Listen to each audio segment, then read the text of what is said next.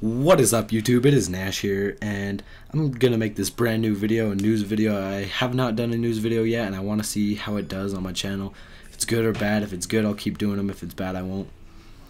And so the first news that we have today is No Man's Sky PlayStation.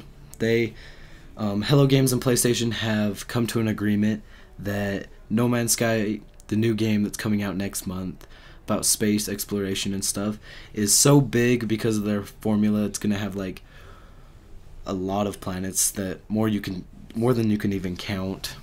And so yeah that game how big it is they have said that it's so big that there's not going to be a lot of player interaction. So they're taking it from being a multiplayer game and making it a single player game because there's not much player interaction. So what that means for you guys is that um, you don't have to have PS Plus to play No Man's Sky online because it's a single player game, classified as a single player game, not a multiplayer game. But, however, it is confirmed that No Man's Sky will need to be connected to the internet for the discoveries you register to be part of the Universal Atlas, which is a key element in the game to make like your own names for animals and stuff. And so, also in other news, um, Xbox One it got a price cut today. The price cut brought it down to $250, which is, I think, really fair for that console. I bought it back when it was $400. And yeah, so $250 for the Xbox One. You can still get a $250 bundle with like Quantum Break and games like that. And it's they said Microsoft has said that it's just a summer sale where they're marking the Xbox One on sale, but I believe that it's more than that. That's just they're marking it down forever because of the Xbox One S that is coming out on August 2nd. That's a few days from now. And that's going to be 400 bucks for a 2 terabyte version. And with the Xbox One, that's just a 500 gigabyte regular version, which got the price cut to um, $250.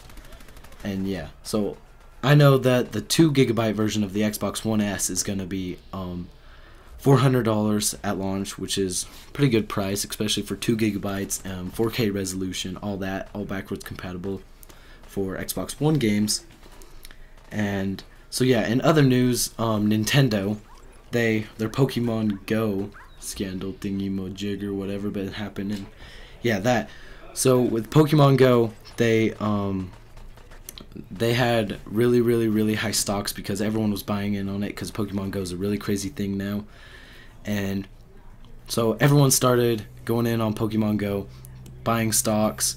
Um, Nintendo stock went really high; it surpassed Sony's, went higher than Sony's stock, and then lately they um, have realized, and Nintendo has released that they haven't been getting a lot of money from Pokemon Go, and the people who bought stocks aren't going to get a lot of money from Pokemon Go. And so now the stock has dropped a lot. Like they said it was 39% in Japan, which is like 4.7 billion dollars. The stock has dropped. The company is now worth 4.7 billion dollars less than they were a few days ago. And I think that's kind of sad because like that's a lot of money.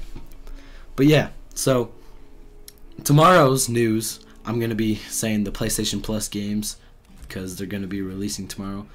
The that, and I'm gonna be telling you other news that's happening, some YouTuber drama and stuff. And so, what I want you guys to do is hit that like button down below, comment down below what you want me to do, what games you want me to play, um, what news stories, if there's any that I missed, and subscribe to this channel. We post daily videos. Um, we haven't been posting lately because of I've been gone and now I'm back. So yeah, we've been now we're gonna post every single day do some news probably if this video gets enough likes. And thank you guys so much for watching and catch you guys next time.